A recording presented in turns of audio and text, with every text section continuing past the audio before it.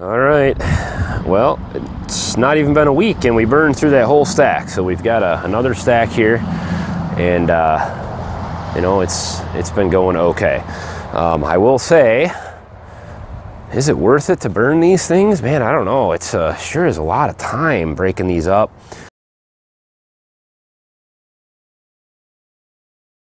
So this is basically what's left of that second load. So this is two full loads, pickup truck and trailer loads. Um, this is what's left after about 10 days of burning. Um, it did get cold last uh, few days I was burning. I, it was uh, down in the in the teens at night, and so uh, I went through through a lot of this a lot of this wood.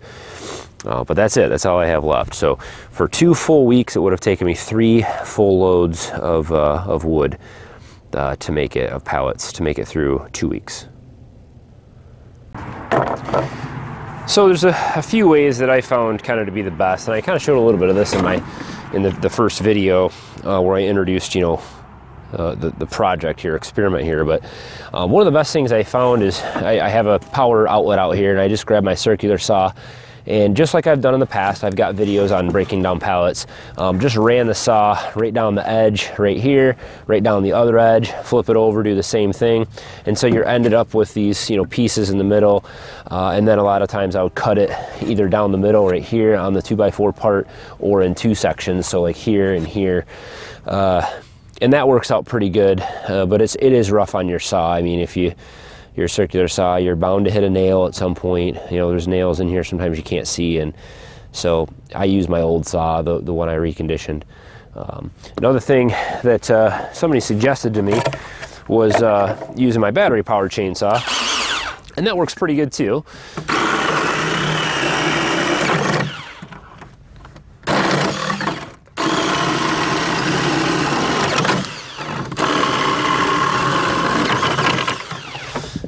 But it's not quite uh, quite an elegant way to do it. And this thing, surprisingly, this thing cuts a lot better through tree limbs and logs than it does this stuff. I don't know why. Um, just how the chain is. I think it's kind of a, a deep cut on these these teeth.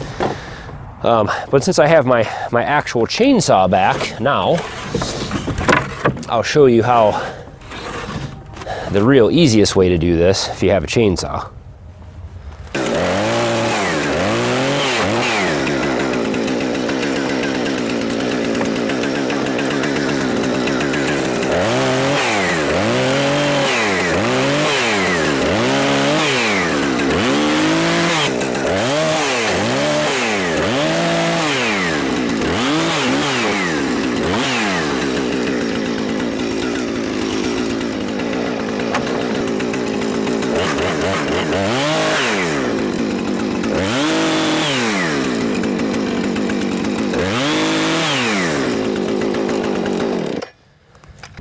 So in the end, this is uh, what you're left with, a bunch of different pieces like that. Um, these sections on the side, these are pretty much ready to throw in there. Uh, stuff like this will go right in there. Um, these ones here, I'll try to take the center, uh, get that center 2x4 out, just break them apart and take the slats. Um, these slats are a little bit long, so I have to throw them in there in kind of an angle, but they'll fit. And these come apart pretty easily. So um, this stuff is, uh, a lot of this is pine. Some of this is oak. This one here for sure is a hardwood of some sort, so probably oak. Um, this is an older one, but I tried to tried it a lot of different ways, but you know the chainsaw works the best. But of course, you don't have a chainsaw, which you know that was the case for me for most of the time I was doing this. I didn't have that that chainsaw, and so um, it was the circular saw was really the best option. A sawzall would probably work pretty good too. I've used that method in the past. Um, I have videos on different ways to take apart pallets that I can share with you guys.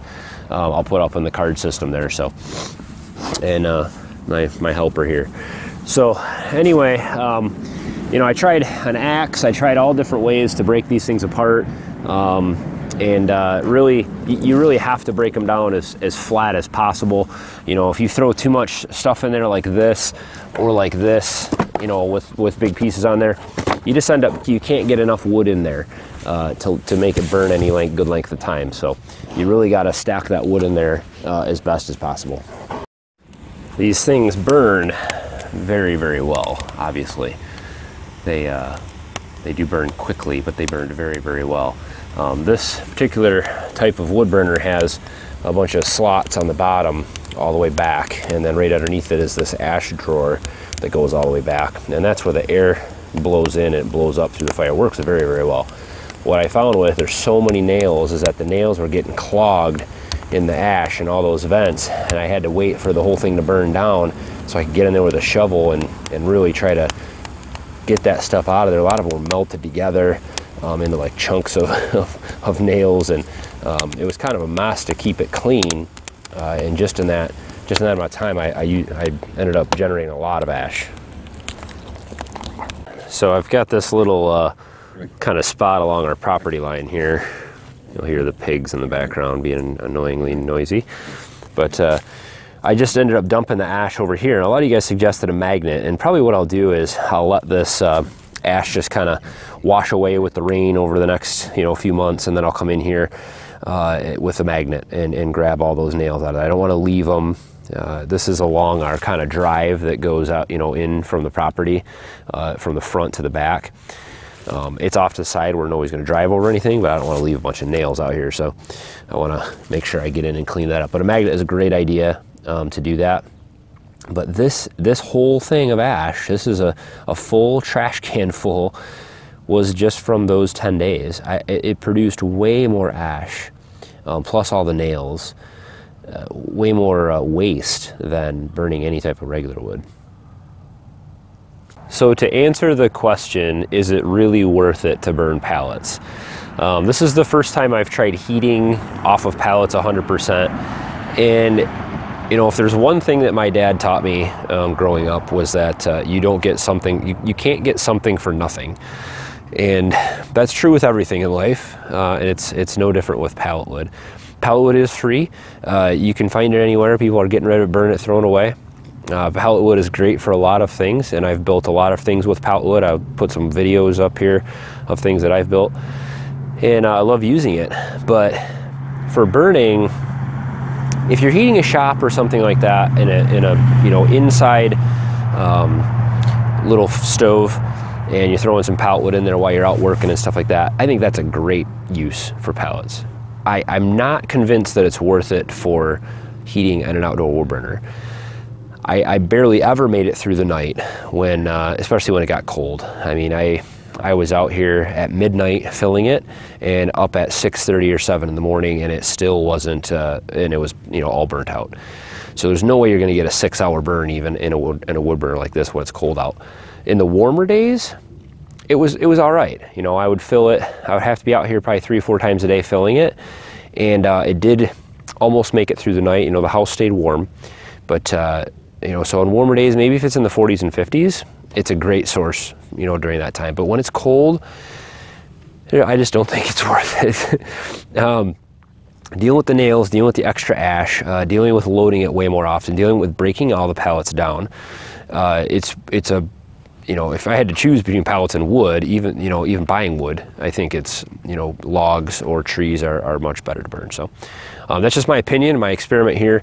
Uh, I didn't make it the full 10 days because I got my saw back, like I said, and um, somebody blessed me and I will, uh, I'll, I'll, detail that in another video, but something, something really changed for me here.